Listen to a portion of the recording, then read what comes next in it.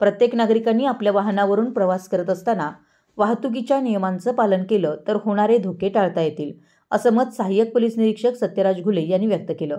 ते दूधगंगा विद्यालय धरणग्रस्त वसाहत कागल येथे आयोजित रस्ता सुरक्षा अभियान पस्तीस अंतर्गत प्रबोधनपर कार्यक्रमामध्ये बोलत होते.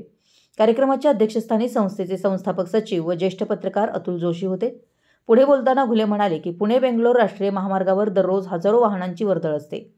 तर अनेक ठिकाणी महामार्गावर सुरक्षिततेसंदर्भात फलक किंवा सिग्नल असतानाही अपघात घडतात. आणि यामध्ये अनेकजण जखमी होतात. गंभीर दुखापत होते.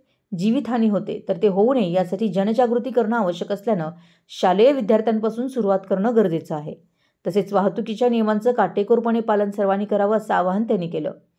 तसेच पोक्सो कायद्याविषयी माहिती देताना त्यांनी विद्यार्थ्यांशी संवाद साधला. यावेळी संस्थेचे सचिव अतुल जोशी यांनी वाहतूक यंत्रणेतील त्रुटी दूर करण्यासाठी आर टी ओ खात्याअंतर्गत योग्य त्या उपक्रमांचं नियोजन करावं. सामान्य माणसांना वाहतुकीच्या नियमांविषयी माहिती करून देताना अपघात घडल्यानंतर जी सामान्य व्यक्ती मदत करते अशा व्यक्तींना चौकशीच्या फेऱ्यात न अडकवता त्यांना कायदेशीरदृष्ट्या सुरक्षा देण्यात यावी व सहकार्य करावं असं मत व्यक्त केलं. यावेळी पोलीस उपनिरीक्षक रवी गायकवाड पोलीस उपनिरीक्षक प्रदीप जाधव यांनीही रस्ता सुरक्षा अभियान पस्तीस या प्रबोधनपर कार्यक्रमाची उद्दिष्टे व महत्त्व समजून सांगितलं. या कार्यक्रमामध्ये सहाय्यक पोलीस निरीक्षक सत्यराज घुले यांनी विद्यार्थ्यांशी उत्स्फूर्तपणे संवाद साधला. या कार्यक्रमाचं स्वागत व प्रास्ताविक मुख्याध्यापक अशोक बुगडे यांनी केलं. आभार बाजीराव आरडे यांनी मांडले तर सूत्रसंचालन अजित कात्रोट यांनी केलं.